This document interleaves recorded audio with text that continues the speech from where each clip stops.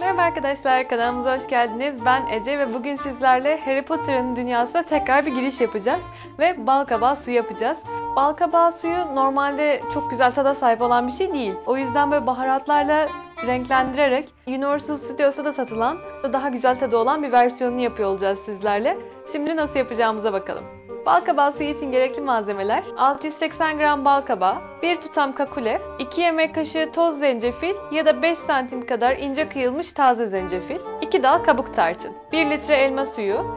Bal kabağımızı önceden 175 dereceye ayardığımız fırında 45 dakika kadar pişirdikten sonra küçük parçalara ayırıp robottan geçiriyoruz. Daha sonra elma suyumuzu da ekleyip robottan geçiriyoruz.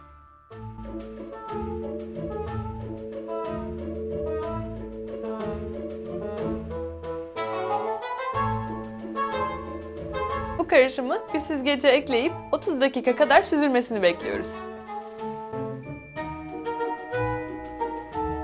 Baharatlarımızı da ekleyip 10 dakika pişirdikten sonra servise hazır.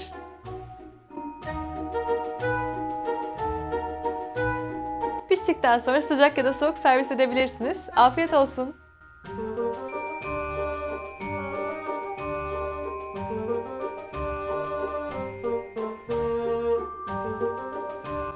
Bu tarz merak ettiğiniz tarifler varsa aşağıda yorum olarak bırakabilirsiniz. Haftaya görüşmek üzere, hoşçakalın.